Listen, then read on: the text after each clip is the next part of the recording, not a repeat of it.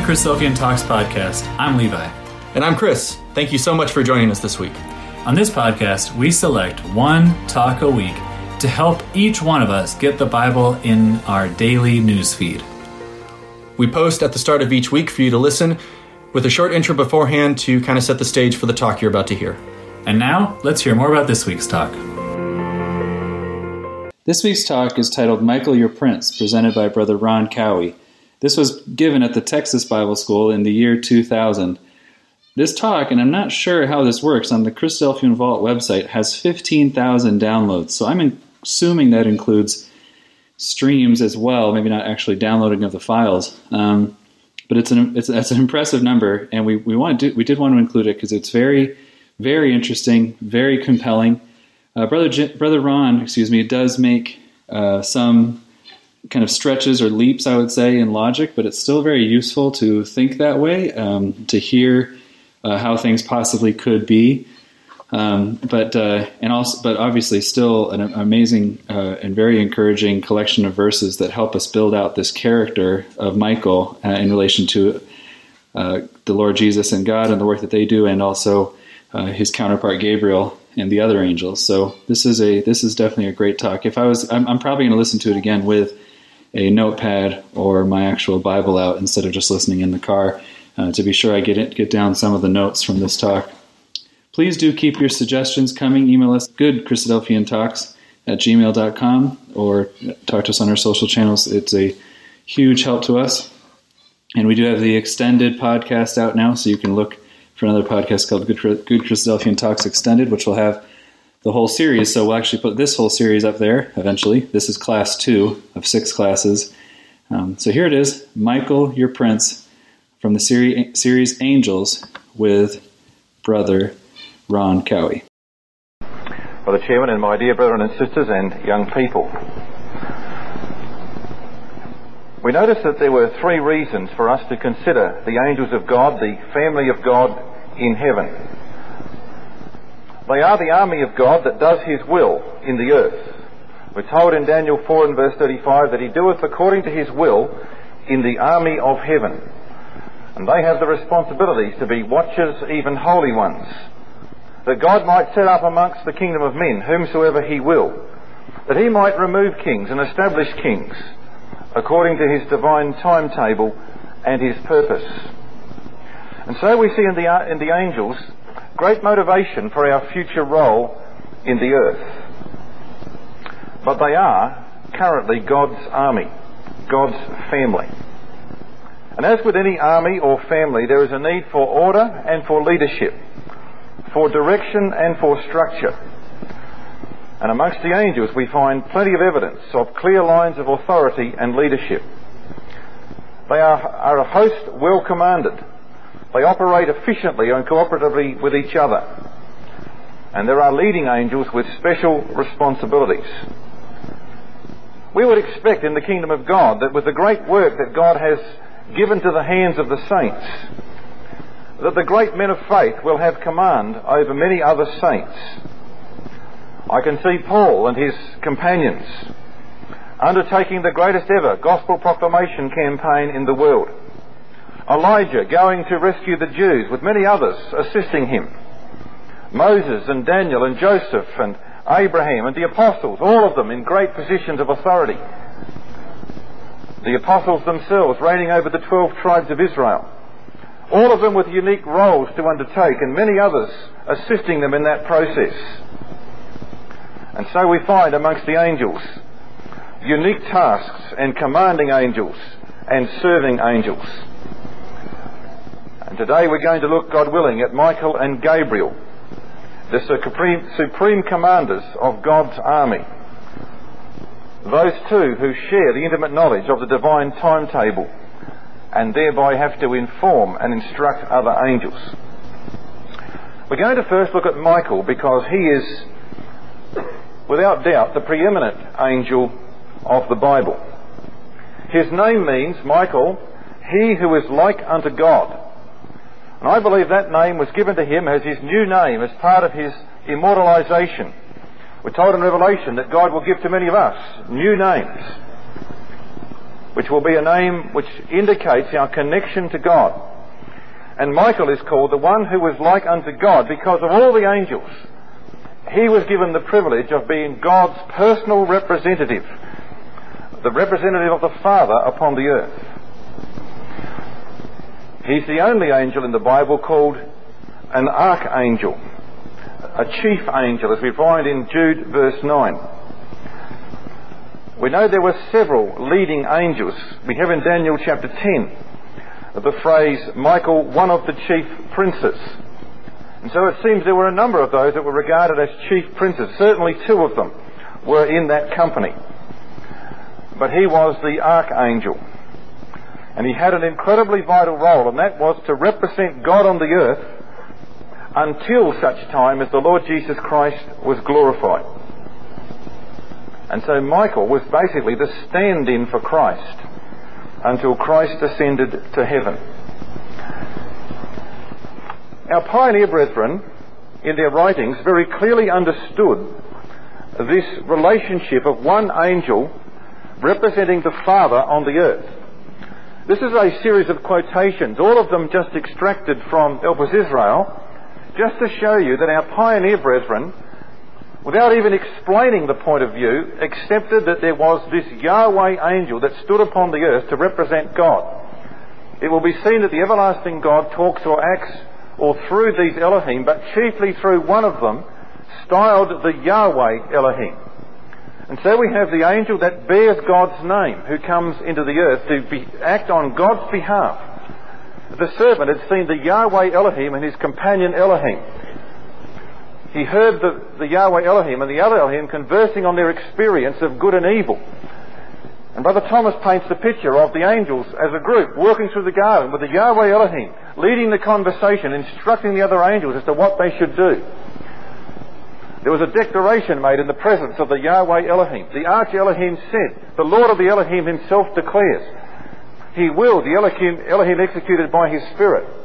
Therefore said the chief of the Elohim, Let us make man. So you see, Brother Thomas just assumes this, this personality of the angel when it reads that Yahweh did, said this or Yahweh did that in Genesis. Brother Thomas just assumes the personality of that angel. So we find that this angel has that authority to speak for God. His name, Michael the Archangel, as we said, indicates his purpose. He is to represent God. And we find in the record that he's called in Isaiah 63 and verse 9 the angel of God's presence.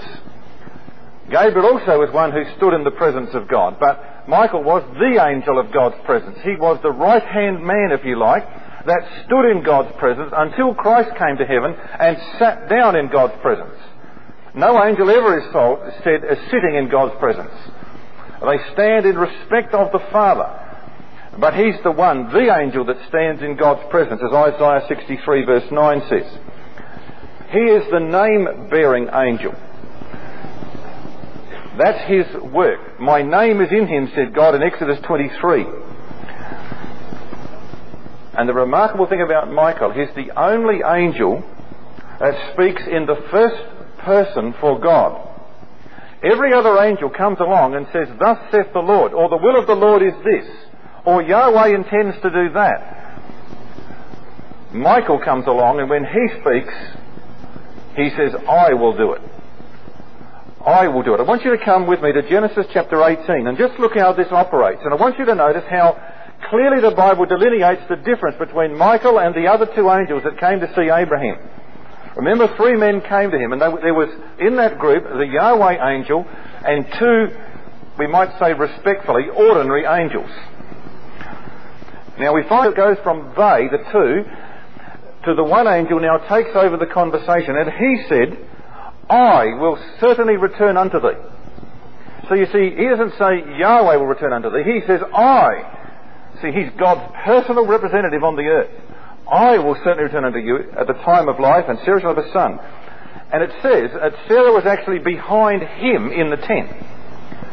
So she thinks, she's there looking out through the corner of the tent over this, this angel's shoulder. And that's why she laughed, because she thought that he couldn't see her. she did not realize at the time that this was, was the great Yahweh angel. You can imagine how Sarah would have trembled when she realized whose word she was laughing at. And so he said, Is anything for too hard for Yahweh? And you notice in verse 14, Is anything too hard for Yahweh? At the time appointed, I will return unto thee. There again is the first person. Again in verse 20, when Abraham stays with the Yahweh angel, he says in verse 20, and Yahweh said, in verse 21, I will go down, I will know. And so we read in verse 22 that the two men went their way towards Sodom. The two angels went to Sodom. Very likely they were the individual angels of Lot and his wife. They went down to Sodom and Abraham stood yet before Yahweh. He's in the presence of this Yahweh angel. When the other angels get to Sodom, in Genesis 19 and verse 14, they actually say to Lot, Up, get you out of this place, for Yahweh will destroy it. They don't say, We will destroy it. They say that we are here under the authority of that Yahweh angel. He will destroy this city, but he seemed as one that mocked. And so you see, everything those other angels did, they were doing on behalf of Michael, the Yahweh angel. Later on it says that they took Lot by the hand, Yahweh being merciful unto him. So they were very much under Yahweh's direction, under this mighty angel's direction. And Abraham stayed to negotiate with the Yahweh angel. Now let's just again look at some references to this Yahweh angel. Just a few in Genesis that we know so well, which make a lot more sense when you see that this is talking about God's personal representative angel on the the Yahweh Elohim caused a deep sleep to fall upon Adam and took one of his ribs. I don't know about you, but I, for years, imagined this sort of hand coming down through the cloud and, and operating on Adam. But when you actually think about it, it required someone to be there to actually put him to sleep, to open his side, to take out the rib, and from that to create a woman. And the Yahweh angel was there to do that. He then subsequently married the two of them, and they had a present, they had a ceremony in the presence of the Yahweh Elohim. And he spoke the words of God to Yahweh Elohim of the Hebrews has met with us. Yahweh said, I will stand before thee there on the rock.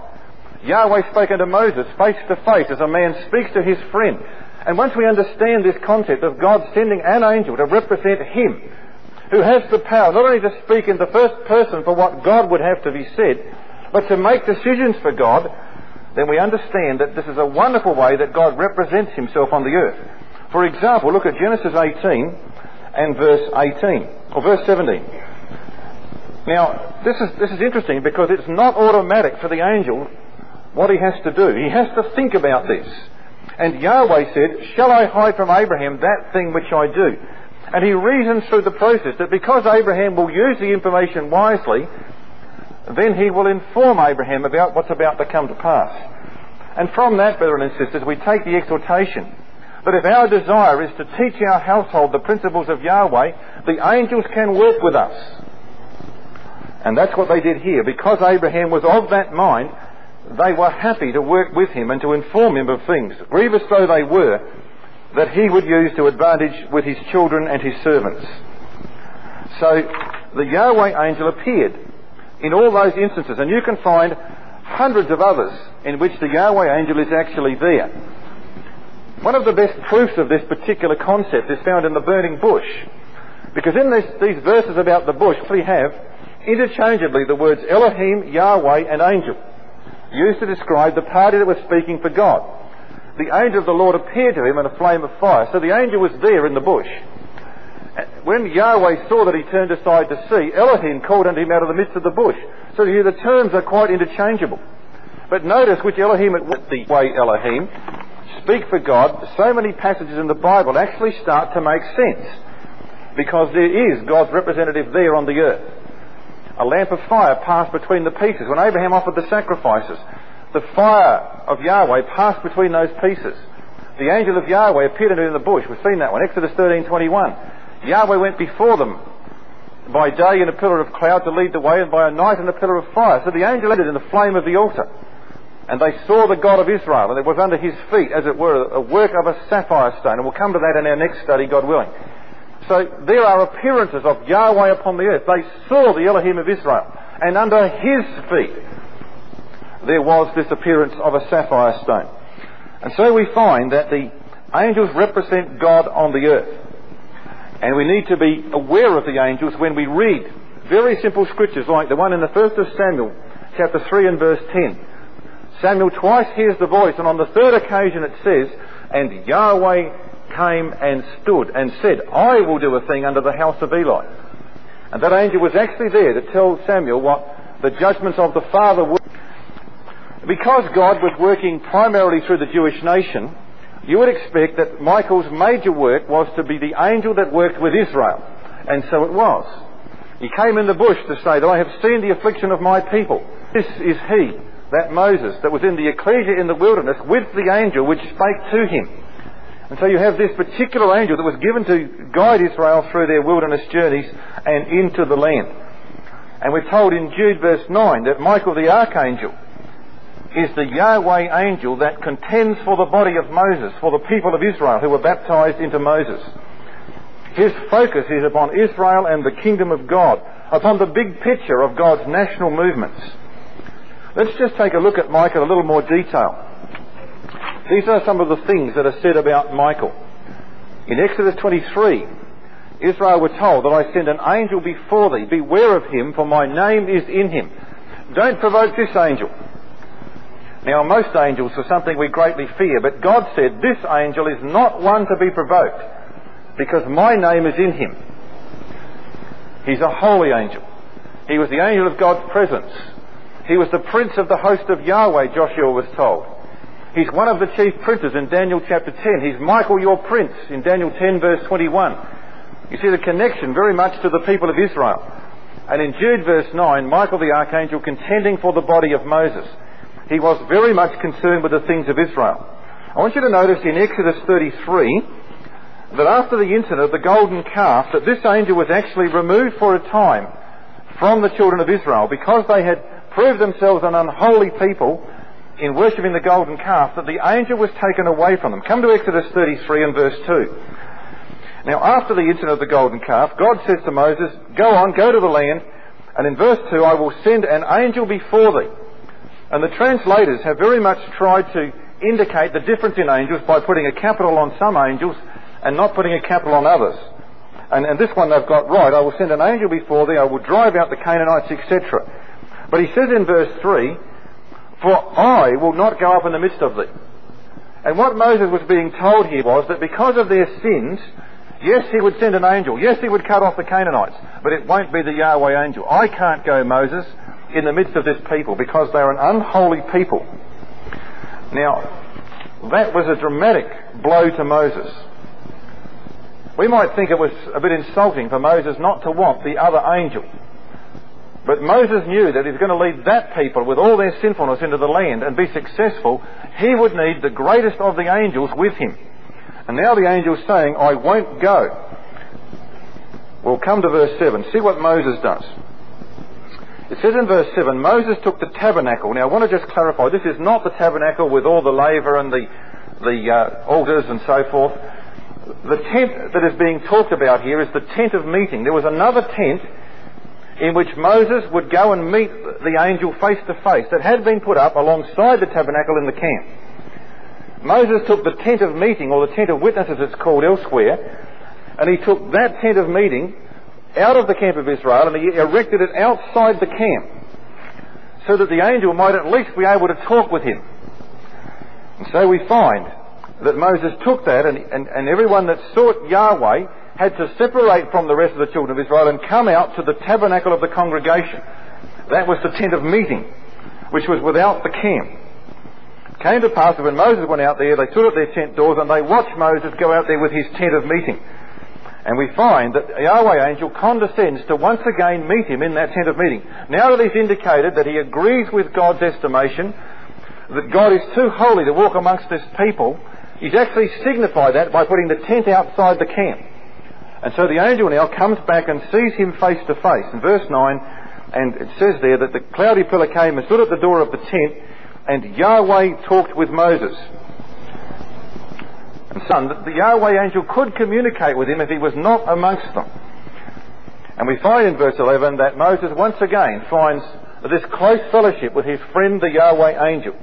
And Yahweh spake unto Moses face to face, as a man speaks to his friend. And then having made peace as it were, Moses does a most remarkable thing. He walks away from the angel in that tent and he goes back into the camp and speaks to the angel from within the camp. So Moses, as a mediator, identifies with his people and says, I am with them. And he pleads with them from the camp. And he says in verse 12, You've said unto me, Bring up this people, and you've not let me know with whom thou wilt send with me. Now we might think it was almost presumptuous to say to the Yahweh angel, Well, thanks for the offer of the other angel, but really I don't know who he is. Now Moses wasn't insulting the other angel. What he was saying to Michael was, I desperately need your power. I need to have the closest representation to the Father if I'm going to do anything with this people. And he said in verse 12, I know you by name and I've found grace in your sight. You're my friend. I need you.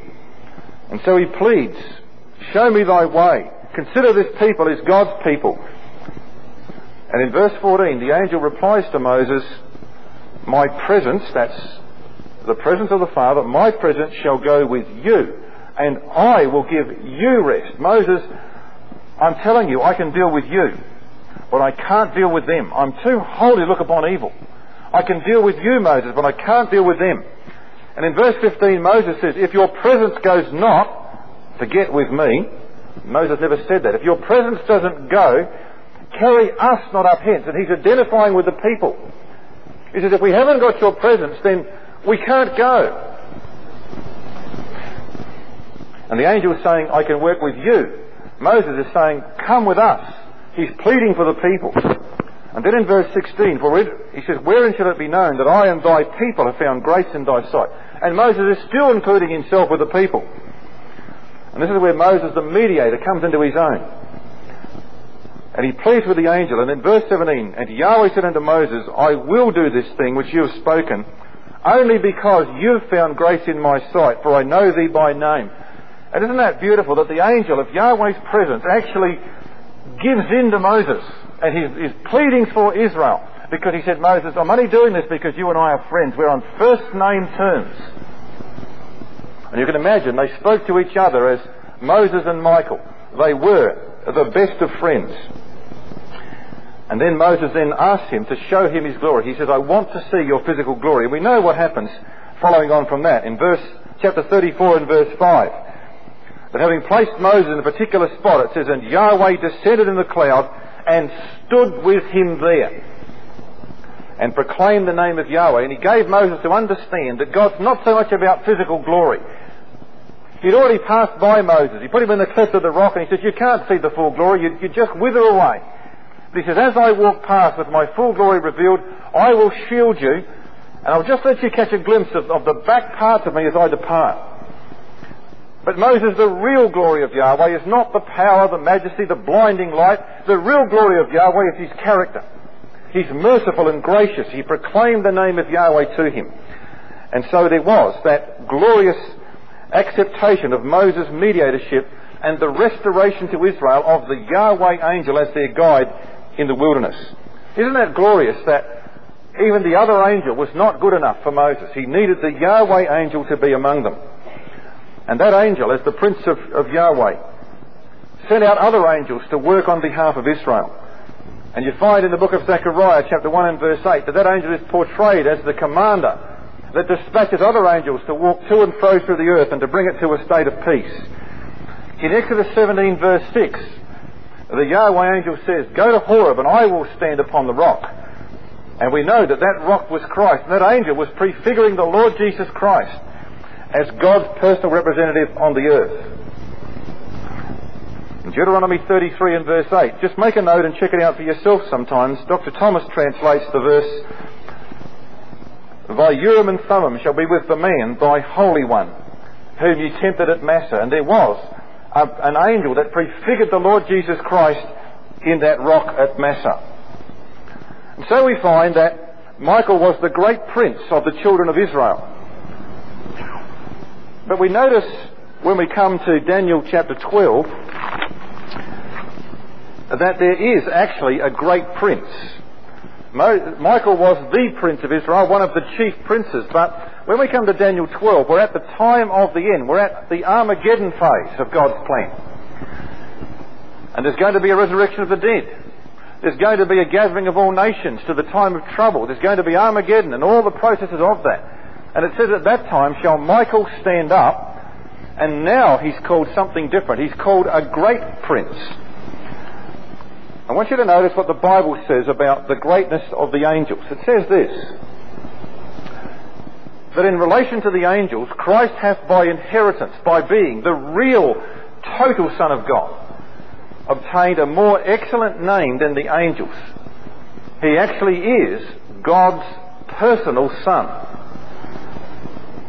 Hebrews 1 verse 13, unto which of the angels said God at any time, sit at my right hand? Not even to Michael he said that. The angels always stand in God's presence. Jesus was asked and invited to sit down in the presence of his Father. It says in the 1 Peter 3 verse 22 that when Christ went to heaven, angels, authorities, powers were made subject unto him. And so we have in Daniel 12 verse 1, the being that leads the return to the earth is the great prince Michael. And Christ comes with the authority of the archangel, says Thessalonians, with the voice of the archangel commanding an authority that the dead should be raised and the living should be collected. And I submit to you that this Michael the great prince is the Lord Jesus Christ having taken over Michael's role as the personal representative of God on the earth. Now, just notice that in the book of Daniel particularly, and in the book of Ezekiel, who was contemporary with Daniel, that Jesus Christ is known as the Prince of Yahweh's host. Look at these verses. Daniel 8 verse 11. He magnified himself even to the Prince of the host. Daniel 8.25, he shall stand up against the Prince of Princes. Unto Messiah the Prince in Daniel 9 verse 25. The people of the Prince, Daniel 9 verse 26. Ezekiel 44, speaking of the temple and parts of it, is for the prince, the prince, he shall sit to eat bread before Yahweh. My servant David, or the beloved, as David's name should always be translated in this sort of context, a prince among them. And so we find that we have Jesus Christ is the great prince. And I submit to you that the title great is never applied to the angels. It is only applied to the Lord Jesus Christ. He is the great one that God intends to enthrone upon the earth. And so the title of Michael, he who is like unto God, is given to Christ because of his obedience and his direct inheritance to the Father. He shall be great. Jerusalem, the city of the great King. Greater love hath no man than Christ, a great high priest, Jesus the Son of God Great is the Holy One in the midst of thee. He shall send a Saviour and a great one. Therefore I will divide him a portion with the great, that great shepherd of the sheep.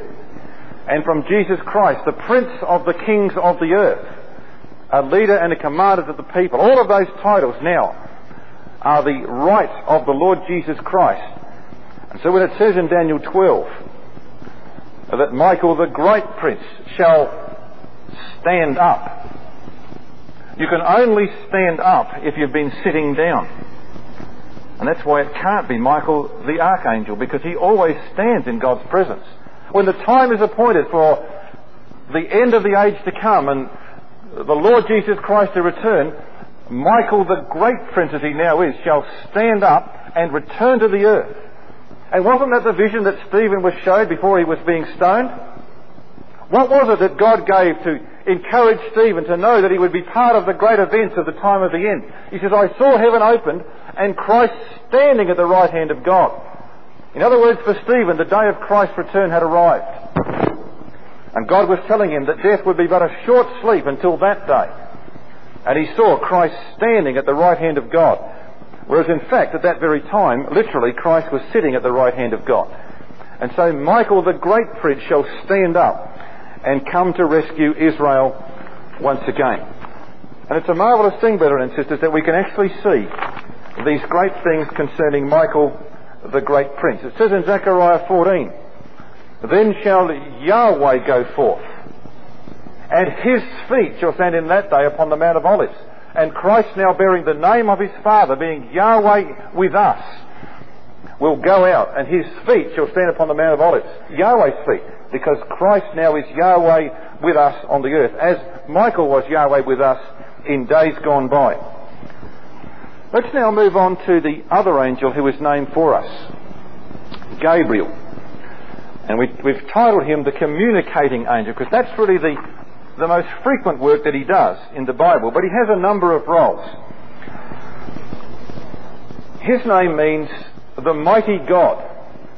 But he also has another title which indicates one of his main tasks, and that is that he shares with Michael the knowledge of the divine calendar. He's called in Daniel 8 verse 13, if you've got a margin in the Oxford Bible, you'll find it says there, in Daniel 8 verse 13, the number of secrets, or the wonderful number, Hebrew Palmoni. Now when a margin gives you that much information, you know that they were struggling. Well, they were certainly struggling with this one. There are two Hebrew words that make up the Hebrew name Palmoni, or the title Palmoni. There is the word mene, which means wonderful. It's used, the word used in Judges 18 verse 13 when the angel ascended in the fire and he said to Manoah and his wife, my name is wonderful. Pele. Wonderful. Okay, just remember that one. So that's part of the name, Palmoni. The other word is the Hebrew word mene. Remember what, the, after the writing on the wall, Mene, Mene, Tekel Upharsin. Numbered, numbered. Was what Mene stood for. So you have a combination word here, wonderful numberer. So here's an angel that has, along with Michael, shared responsibility for the divine calendar. He's got the times and the seasons at his fingertips. Which angel is it you find in Daniel 8 and chapter 9 that is giving Daniel time periods? 2300, 1335, etc. It's Gabriel. You see, he's the Palmoni, he's the wonderful numberer. Other angels are pleading with him, how long till this? And he says, well, that many years. How long till this? Well, that many years. He's the wonderful number that's got the control of the divine timetable. That's one of his major responsibilities. Well, the other job that he has is that he's very much involved with the work of Jesus Christ. You've got Michael the Archangel who's involved with Israel and the kingdom of God and the big picture amongst the nations. And you've got the other angel who's got the other part of the gospel, the name of Jesus Christ. And the two of them share the divine calendar. You'd have to, wouldn't you? If you're going to work on one working on Christ and the times and the seasons, in the fullness of time God sent his son into the world, and Michael's got to know the time of the end and all the time periods that are there, these two have to share the divine calendar. And so you find in Daniel 10 verse 21 that Gabriel says, I will show you the scriptures of truth, and none holdeth with me in these things but Michael your prince. And he's talking about the movements of nations, the king of Grecia, the king of Persia, Darius on the throne. Michael and I have got this all under control. And he goes and he just sweeps through from Daniel 10 through Daniel 11, and he says, these are all the events in Daniel 11. And in great detail he unfolds event after event after event, history unfolding in the future. Because he and Michael understand all that. Until in the end, by the time you get to the, to the end of Daniel 11, Daniel head, Daniel's head's reeling and, and Gabriel considers, well, that's enough, Daniel. You don't need to know any more than that. I could go on telling you about future history, but you can't really absorb any more. Don't worry about it, Daniel. We'll seal up the books at the time of the end. But you see, the two of them understood all these things. They knew what the plan of God was through all the ages. And so he's got two jobs, the, the work of Messiah and the divine timetable. So he's the, the, the Gabriel, the mighty God, and he's the Palmoni, the wonderful numberer. After Christ has been resurrected, this angel is called his angel, the personal messenger of Jesus Christ. And he then sends Gabriel back to mankind to go on communicating on his behalf. Revelation chapter 1, the revelation which God gave to Jesus Christ and he sent by the hand of his angel. His angel. He's got a personal servant, angel which we believe is Gabriel, and we'll show you that later on. Which angel do you think came in the Garden of Eden? It says, and there came to him an, an angel from heaven. Where else do angels come from, brethren and sisters, but from heaven? You see, God dispatched the Gabriel angel to, to reassure Jesus Christ that there was at, at God's right hand a glorious future for him. And an angel came from heaven to reassure Christ. I, Jesus, have sent mine angel to testify these things in the ecclesias. And so you find that in the work of Christ, Gabriel is intimately involved. These are just a few of the instances we could mention in relation to Christ. The 70 week prophecy, the visit to Zacharias, the visit to Mary, the visit to Joseph, a number of those, the visit to the shepherds. He was led of the Spirit into the wilderness, and the word Spirit is used interchangeably with angels. For example, it says concerning Philip that the angel spake to Philip, the angel, and then it says, then the Spirit caught away Philip. And you find that the word angel and spirit are quite interchangeable in some context. He was led of the Spirit into the wilderness to be tempted. So you see, you have Gabriel very much involved with the Lord Jesus Christ. In relation to his communicating work, we find that many, many times it's Gabriel that does the explaining to men about what the prophecies actually mean. And it's very noticeable that Michael does not explain prophecies. What he does is he sends Gabriel to explain prophecies. You might remember in Daniel chapter 10 where you know, here's Daniel praying for three weeks to understand the visions. And eventually Gabriel runs up almost out of breath and says, well, I'm sorry I'm so late, but I was tied up with the king of Persia. And it was only when Michael came that I was able to get away. And I'm now come to explain these things. I will show you the scriptures of truth. You find in Daniel chapter 8 that a voice comes when Daniel again is praying to understand. Gabriel, make that man to understand the vision. So you get the impression that of the two angels, that Michael is the one that, that is the supreme commander. He even directs Gabriel what to do. He says, I am come to show thee. Unto thee am I now sent. The angel that talked with me runs right through the prophecies of Zechariah and the first six chapters. And when Zechariah has heaven open and he's shown the visions of how the angels are at work, we have a commanding angel that directs other angels, and we have the angel that talked with me, the angel that talked with me again and again. And in the notes we gave out, you'll actually find a colouring exercise to colour in the different angels in the first six chapters of Zechariah, which is a most useful exercise to make it legible. Gabriel was sent to Zacharias in the temple. I am Gabriel, sent to speak unto thee. You see, he's got this mission to communicate to people. Gabriel was sent from God to explain things to Mary. To the shepherds, he said, Behold, I bring you good tidings. That was his role. And so you can go through Gabriel that he's the angel that God sends to communicate. There stood by me this night the angel of God whom I am and whom I serve, saying, Fear not, Paul. There came one of the seven angels and talked with me, Revelation 2, 21 verse 9. He that talked with me, I am come to make thee understand. The angel that talked with me in Zechariah again. I fell under worship before the feet of the angel which showed me these things. And Jesus says, I have sent mine angel to testify these things in the ecclesias. And the angel that was concerned with Jesus Christ right through his life, his death and resurrection, and his work with the ecclesias was very likely Gabriel. And so we have two mighty angels who cooperate marvellously in fulfilling the work of God. One concerned with the kingdom, one concerned with the Lord Jesus Christ and his people. They're the only two angels that share the divine knowledge of God's timetable. You can imagine then that in the fullness of time, Gabriel having given the 70 weeks prophecy to outline the exact time that Christ would come into the world, how intensely they cooperated to move both nations and individuals in place for the birth of the Son of God. How they would have watched so closely over the events concerning his life, so that he died at exactly the right moment in God's plan. After it was all finished, these two angels, who both stand in the presence of God, were found sitting.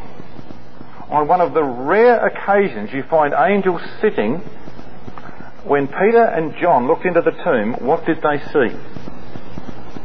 They saw two angels sitting.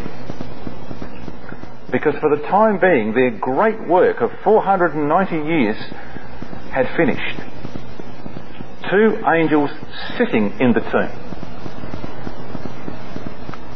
And between them, the grave clothes of the high priest. The work was accomplished. The great announcement on the Mount of Olives. How many angels were there to tell the disciples that he would come back? Two men stood by them in white apparel. Who do you think those two were? You see, there are two angels who share this great knowledge between them. And they are now joyfully submitting to the Lord Jesus Christ the true Son of God who came to heaven and was put over them. All power, said Jesus, is given unto me in heaven and in earth. He's now over all the angels. Uh, Hebrews 1 verse 6, correctly translated in the RV, when he again bringeth in the firstborn into the world. When the firstborn of the dead came back to life, God's command was that all the angels of God worship him. He's gone into heaven, is on the right hand of God. Angels and authorities and powers, all the, the ranks of the angels now subject unto him. And so he now sends his angels out to do his will. And brethren and sisters, there is a most magnificent verse which shows us that all the power and the titles of the angels have been ascribed to the Lord Jesus Christ. What are the names and titles of the angels that we have? Well, we have the Prince of Yahweh's host, Gabriel, the mighty warrior, Michael, he was like unto God, Palmoni, the wonderful numberer, and Pele in Judges 13 verse 18, the wonderful. They are all the names and titles of the angels. Look at Isaiah 9 verse 6. For unto us a child is born, unto us a son is given. The government, the authority, the power, the responsibility will be upon his shoulder. And his name shall be called Wonderful, Pele, the Counselor. None of the angels were regarded as a counselor because that word indicates the mediatorship of Christ. The mighty God, the Gabriel, the everlasting Father, as it should be translated, the Father of the age, he who is like unto God, representing God on earth now amongst us, and the Prince of Peace. And all of those titles that were once the province of the angels are now ascribed to Christ. All power is given unto him in heaven and in earth. And we could say much more about the relationship of the angels, but time fails us. I want to make, before we close, a very powerful exhortation from Michael the Archangel. All of these things are fascinating and, and really expand our minds to understand the purpose of God. But if we're not exhorted, as our brother Michael said, then exposition is of no use to us. We have to take away not only a greater understanding of God and His purpose, but an exhortation for this daily living. I want you to come with me to the first of Peter chapter 2, sorry, second of Peter chapter 2, and let's just look at an exhortation based upon Michael the Archangel. And this is the only exhortation in the New Testament based upon the character of Michael and the qualities of the Yahweh angel. So it has to be significant. It has to be important to us. The context is what is described because we have a parallel record in the sec- second of Peter chapter 2 and in Jude verse 9. The exact same incident is described. And what it is, it's going back to Zechariah 3 where Joshua the high priest was confronted with the adversaries, the Samaritans, who were trying to stop the work of rebuilding the temple. And Zechariah was shown in the night visions the real situation. They were, they were afraid the work would be stopped. And he was shown that this was a matter that was actually being decided by the angels. And as much as the adversary was at Joshua's right hand, in other words, stopping him from working on the temple, every time he picked up a trowel, the, the, the, the adversary would bump his right hand. He said, He also showed me Yahweh standing before Joshua. And so you see, the reassurance was there that they were not alone. That was the vision was to teach them that they were not alone. The Yahweh angel, who Jude tells us was actually Michael, was right there with Joshua the high priest to make sure that the work would be finished and to reward Joshua with a change of garments. And so you see that we have in this record, in Zechariah 3, a remarkable incident to prove them that the angels do watch over God's people in time of trial. But the lesson that's taken into Jude and into Peter is the attitude of the angel. Now let's look what it says. Now, 2 Peter 2 is about the warning against apostasy from within. Those who will creep in through the back door to bring error into the ecclesia. And the warning is, how do you pick these people before they start preaching their abominable errors and they start going down the track of unrighteous behaviour? How do you pick the incipient errorist in your ecclesia? Well, one of the signs, says Peter and Jude, is their attitude and the way they speak about other brethren. Because if they're being driven by envy and self-importance, then they're going to be pulling down people in positions of responsibility. And so he says, this is how you recognize them. Verse 10. But chiefly those that walk after the flesh in the lust of uncleanness, They despise dominion. They hate those over the ecclesia. Presumptuous are they, self-willed, and they are not afraid to speak evil of dignities. So they pull down authority. They've got no respect for the proven teachers and leaders. They destroy reputations by innuendo, by slander, by suggesting that these people are driven by ambition. You hear phrases like, well, there really are no shepherds. You know, we're all shepherds. Who do these men think they are? Sour and bitter comments made against people who are respected in the ecclesia because they want the prominence. And then verse 11. And Jude and Peter make exactly the same point. How different, how different and how much more gracious in speech are the angels. Where he says, whereas angels, and he's talking about Michael, who are greater in power and might, and how much greater in power and might than ordinary men is Michael. He knew the Samaritans were wrong. He knew they were vicious. He knew they had to be resisted. He knew that God would wipe them out. And yet when Michael had to make judgment upon them, all he would say is this, Yahweh of hosts, God in heaven, rebuke thee, O Satan. That was as far as he was prepared to go. He would not say unkind things about the Samaritans. He would not accuse them of their evil motives. He said judgment is a matter for God. And that's the exhortation that comes through to the New Testament. And brethren and sisters, if that's all the angel is prepared to say, who knows men's motives, who knows God's purpose, but he defers judgment to God, how much more careful ought we to be in our judgments about each other? Jude says he does not bring railing accusations. Understanding that God is the final judge, he would not use abusive terms as Weymouth translates it. He left judgment to God. Yahweh rebuke thee, O Satan.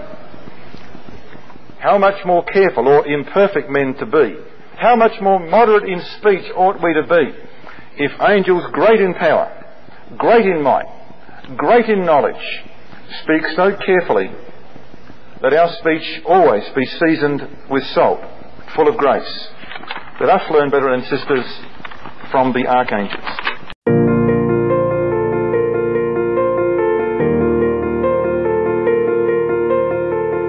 Thank you for listening to the Good Christadelphian Talks podcast.